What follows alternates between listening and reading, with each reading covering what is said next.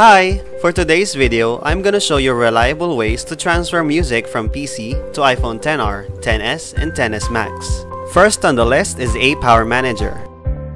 To start, go to the official site of the program. Download the software and install it on your computer.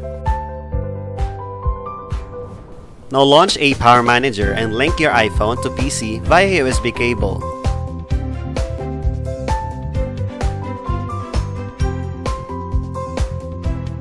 Once connected, go to Manage tab by clicking the second icon at the top menu. Next, select Music from the left side panel.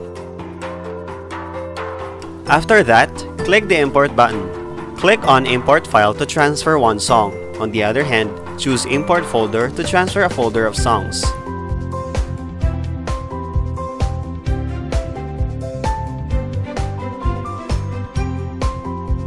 There you have it. Your music now are transferred to your iPhone. To disconnect, go back to My Device tab and click this icon. Another worth measuring tool is AnyTrans.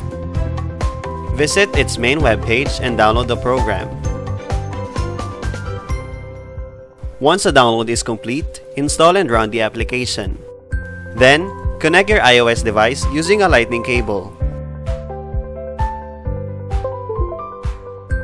From this interface, click on Audio followed by the music icon.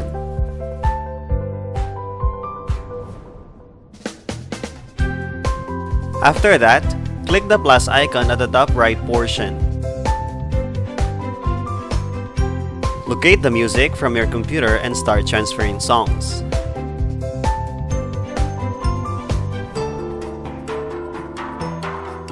Once done, you can now enjoy playing your music on your iPhone XR, XS, or XS Max. And that's it for this video. Thank you for watching!